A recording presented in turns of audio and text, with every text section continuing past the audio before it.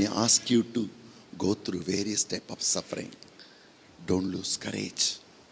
In the book of 1 Samuel, chapter 25, there was a young woman. Her name is Abigail. This young woman is from the family of a priest.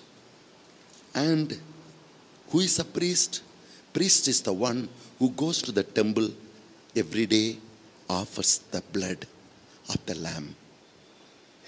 So, sacrifice life is known to Abigail. And this woman, God made her to get married to a, to a man who is called Nabal. And who is this Nabal? 25th chapter, verse 3 says, The man na- named Nabal, his wife Abigail, the woman was very intelligent.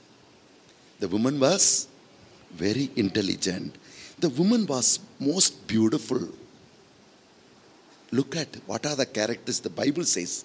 The woman was more intelligent, most beautiful, but the man himself, he remained a celibate. He was rough and ill mannered, and he was always mad after money. He never understood the physical need of his wife. She was intelligent, she was beautiful, and she is married to that wealthy man. But that wealthy man, he remains in the field making bread and making money. And he is a very rough man. This woman is married into that family. And she remains. Life might have been tough.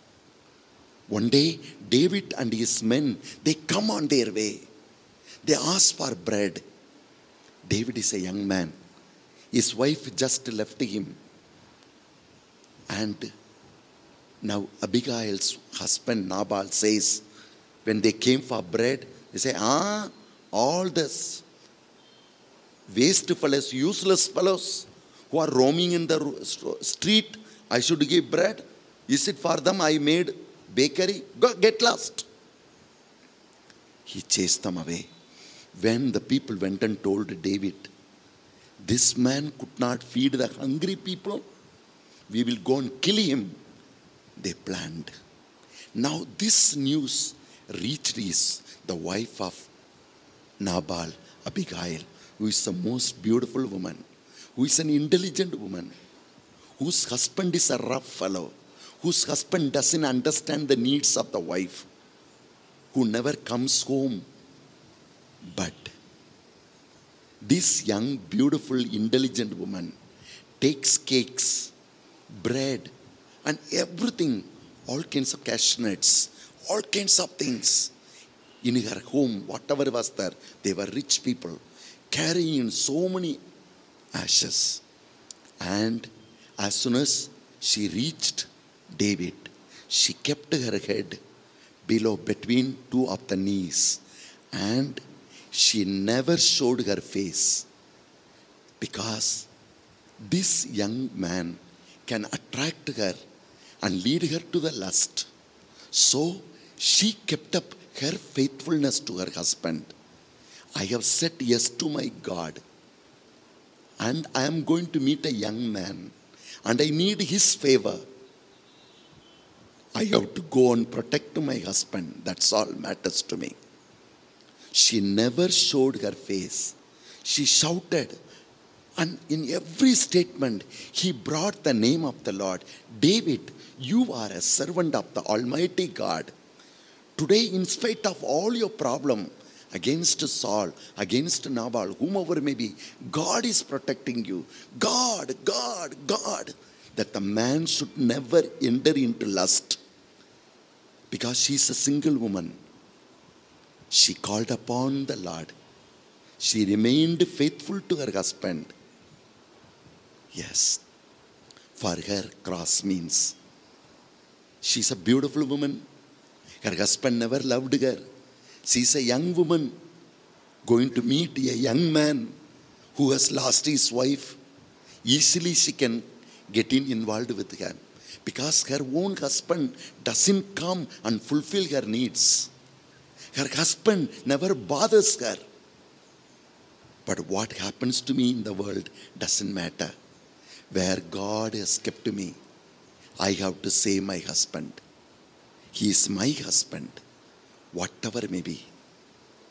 For her cross means to do the will of God. Many things could not, she could not understand why these things are happening. And within no time, the husband died. And then David, who lost his wife, when he came to know that Nabal is no more, he comes home and asks Abigail, Will you become my wife? Abigail, a great woman of God, says, I will pray to God. I will pray to God. She prayed and then she becomes the wife of David. My dear friends, for us, cross means not the world, not the worldly pleasure. That which is passing away cannot rule us, cannot take away that which is eternal, that which is life giving. We read in the book of Romans, chapter 11, verse 18 Take care that which is eternal, that which is life giving, to which you belong to, is not destroyed at the cost of that which is perishing. Yes, that which is perishing, the lust of this world.